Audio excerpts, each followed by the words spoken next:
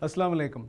On this glorious occasion of Qatar National Day, it's our pride, privilege, and honor to offer our warmest congratulations to His Highness the Emir of State of Qatar, Sheikh Tamim bin Hamad Al Thani, and to his father Emir, Sheikh Hamad bin Khalifa Al Thani, and to the residents and citizens of the state of Qatar, we offer our warmest congratulations, peace, prosperity, and happiness.